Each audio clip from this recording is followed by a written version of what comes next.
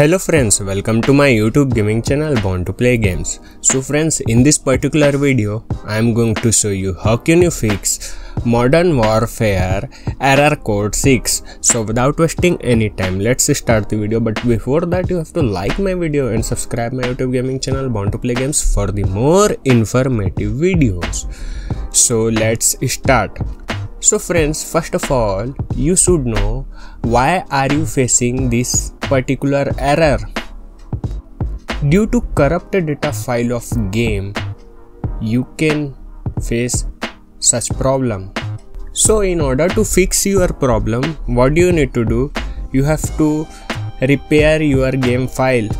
So for that you have to go on game directory and you have to delete random files you have to delete random files uh, except uh, above few folders you have to delete all files. After that you have to open your battle.net and you have to click on scan and repair your game. After that it will take some time and your error may fix.